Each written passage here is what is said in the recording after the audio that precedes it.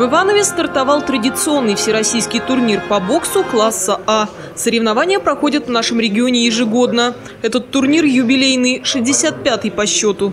От лица жителей города поприветствовать наших спортсменов, которые сегодня приехали к нам из 19 регионов страны. Почти 100 человек участников.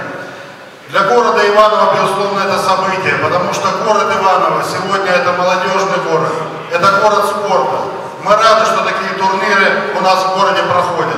Турнир посвящен памяти основателя бокса в нашем регионе, мастера спорта СССР Федора Климова.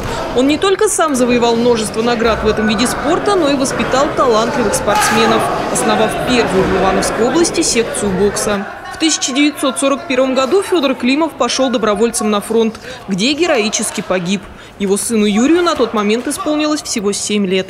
Помню, как он собирался на тренировки, как проводил их в этом в малом зале, где мы и жили, и он тренировал в Доме физкультуры. Конечно, я горд за него, за то, что он совершил в спорте и как воин Великой Отечественной войны будет проходить в нашем городе до 2 февраля.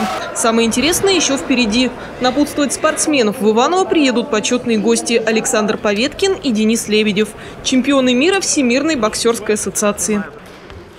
Наталья Романова, Андрей Семиволков, РТВ Иваново.